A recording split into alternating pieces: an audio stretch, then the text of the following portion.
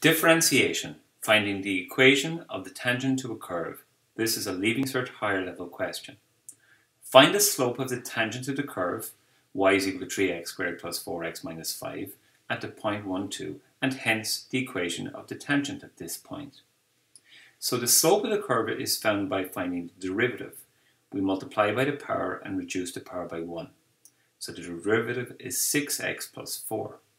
The value of this when x is equal to 1, because it's the point 1, 2, is found by substituting 1 in for x into this derivative function.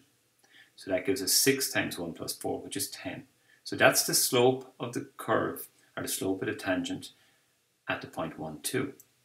We're asked to find the equation. The equation of the line is y minus y1 is equal to m times x minus x1. The point x1, y1 is 1, 2. But we also know the slope m is equal to 10. So we sub these values into the formula. This gives us the equation of the tangent. So it's y minus 2 is equal to 10 times x minus 1. And this is the answer, but just neating it up and writing it maybe in standard form.